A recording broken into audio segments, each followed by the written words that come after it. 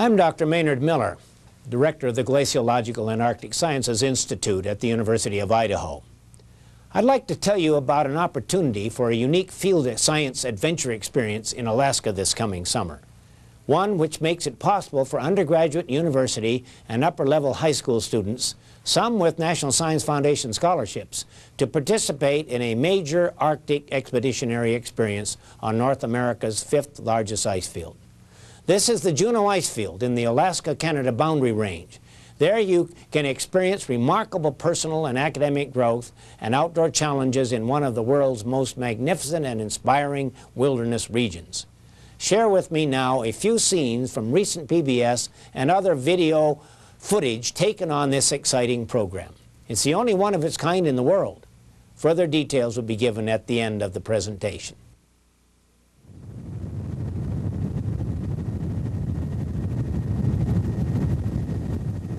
The Juneau Ice Field, a 1,500 square mile sheet of ice. It is a forbidding place where time seems to stand still.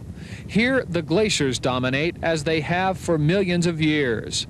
The blue ice is ever moving, yet its passing is not going unnoticed.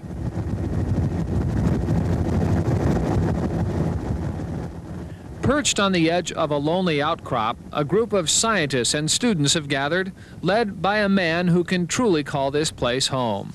Well, we'll be there in a minute. The ice field first called Dr. Maynard Miller back in 1946. He's been back every summer since. For the past 30 years, his eight-week seminar on Arctic science has attracted scientists and students from around the world. Miller has two goals, to teach these kids something about science and something about themselves. Many of them often don't seem to come with very much walking around sense, but by the time they get through with two months in the expedition, they've developed a lot of common sense. They're the brightest kids in America. 55.2. Good to see you, Alex. Welcome home. Well, it's good to be back. Miller was 18 himself when he first walked the ice. His young colleagues are learning many of the same lessons their teacher did so long ago. Science is more than just, uh, you know, books and numbers. It's, it's an art almost. I mean, it's a way of getting problems solved. It's a way of helping our society. And, and I think I've learned a lot about that.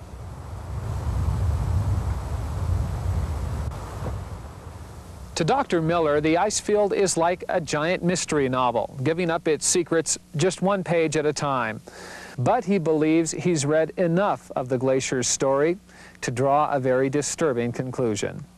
For the past 20 years, there has been a dramatic increase in snowfall on the ice field. Miller believes it's an indication of a global climate change caused by pollution, the greenhouse effect. I am relatively convinced that global warming is the bête noire, the black beast that is causing the main changes on the Juneau ice field. I would say within several years, to five years, we will have conclusive evidence to reinforce our inclination in that belief at the present time. Eight tenths. The ice field still holds many secrets, and from time to time it still calls Maynard Miller. And it is then, he says, he sees his world for the first time again, not as a scientist, but as a man. You get at peace with yourself and you begin to realize that you're a very fortunate person to be alive on this planet.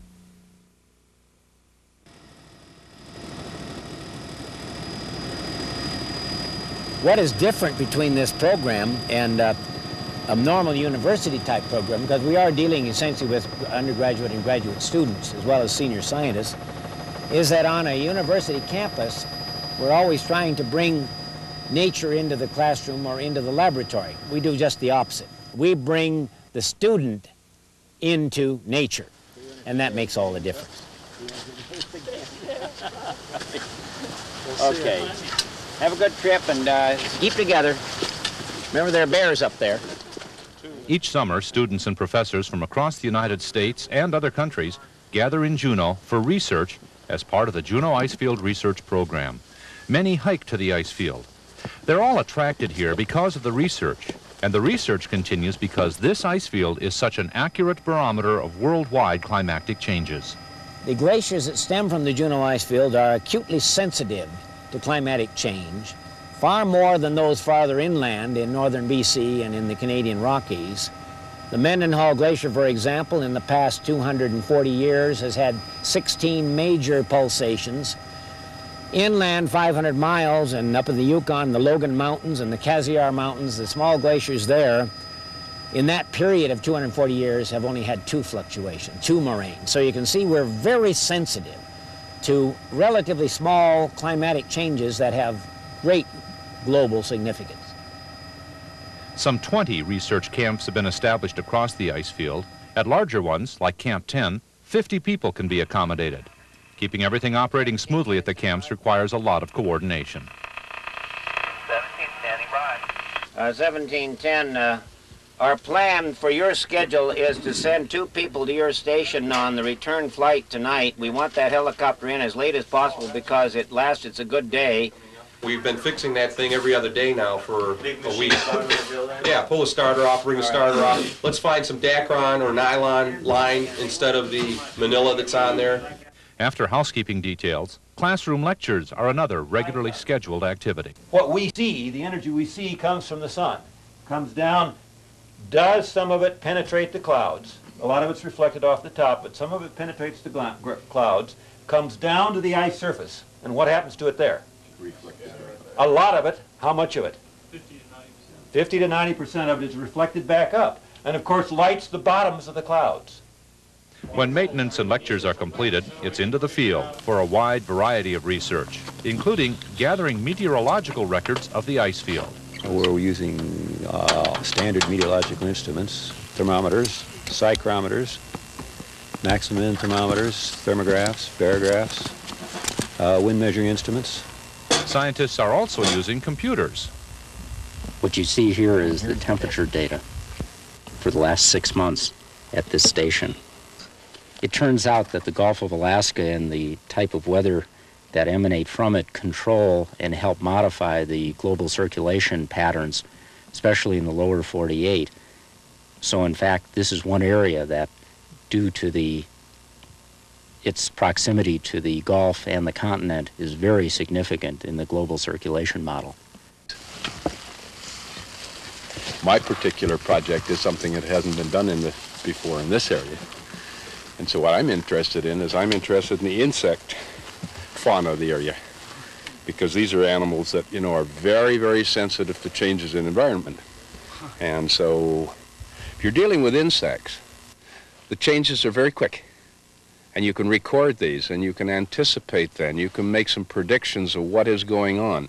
And if there's some problems developing, you may be able, in certain cases, to take ameliorating action. Seismographs are used to record ice movement. After the drum paper is smoked, a small pin records the shakes. Here you see a large earthquake. It comes in fairly abruptly and then gradually dies out. Seismology and, and glaciology are, are fairly new as being applied to each other. So one thing you can do is is go to areas that you know are well crevassed and try to identify what crevassing events look like on the, the seismograph. Geophones buried a foot beneath the surface pick up the sounds that are recorded on the seismograph. See these these slashes right here, the short bursts of energy are quite possibly crevassing events. And so, each summer, Miller, along with fellow scientists and students, return to the Juneau ice field to continue this kind of research in a unique kind of program. And therefore, trying to compare it with other programs is difficult because this is the only program of its kind in the world. And it is, has the longest continuous record of scientific observations and measurements um, on a prototype uh, glacial system such as the Taku Llewellyn Glacier system of any place in North America.